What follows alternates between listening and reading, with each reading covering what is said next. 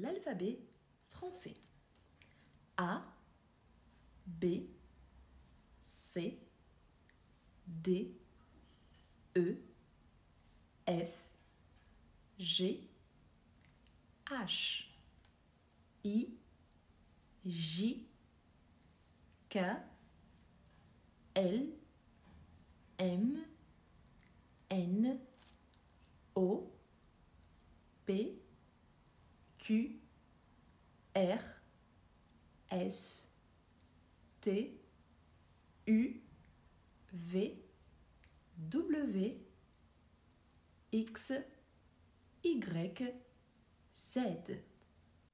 En sachant que A, E, I, O, U et Y sont les voyelles et tout le reste sont les consonnes.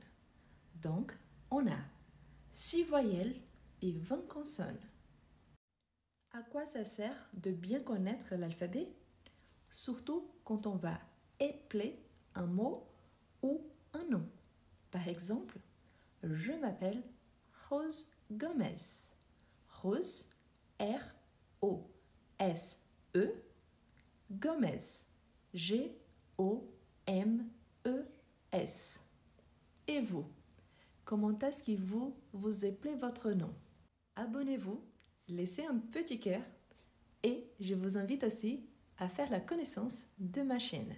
Le lien est sur mon profil.